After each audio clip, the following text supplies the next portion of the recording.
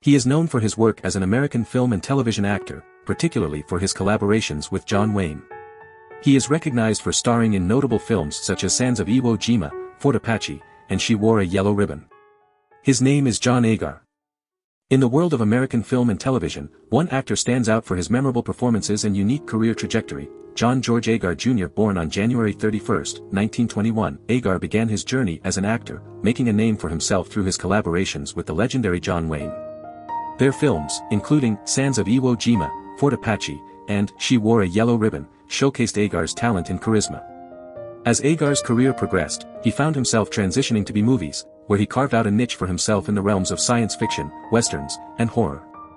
Films like Tarantula, The Mole People, and The Brain from Planet Arous showcased his versatility as an actor, and he became a recognizable face in these genres. Despite facing setbacks in his personal life, Agar's dedication and talent allowed him to continue working in the industry. In the later years of his career, Agar had the opportunity to work alongside John Wayne once again, with Wayne offering him supporting roles in several films. Additionally, Agar found success in the television industry, appearing in numerous shows throughout his career. His ability to adapt to changing trends and his unwavering passion for acting allowed him to leave a lasting impact on the world of entertainment. John George Agar Jr.'s legacy as a talented actor and his contributions to the film and television industry will forever be remembered. From his successful collaborations with John Wayne to his iconic roles in B-movies, Agar's impact on the silver screen remains undeniable. He will always be celebrated for his dedication to his craft and his ability to captivate audiences with his performances.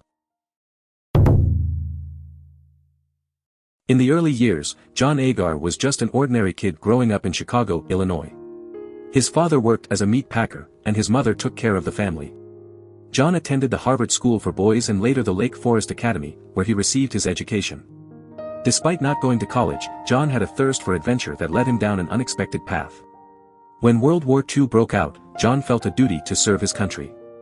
In 1941, he joined the U.S. Navy Air Corps and underwent basic training in Texas. His physical fitness and dedication caught the attention of his superiors, and he was chosen to be an instructor in physical training at March Field in Riverside, California. However, fate had a different plan for John. An unfortunate turn of events occurred when John developed an ear infection that affected his balance. As a result, he was medically discharged from the Navy in 1943.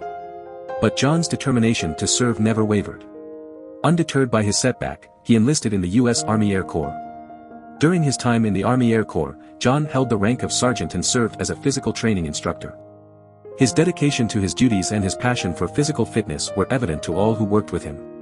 The war was a challenging time, but John's commitment never wavered, even in the face of adversity. In 1946, after the war had come to an end, John made the decision to leave the U.S. Army Air Corps.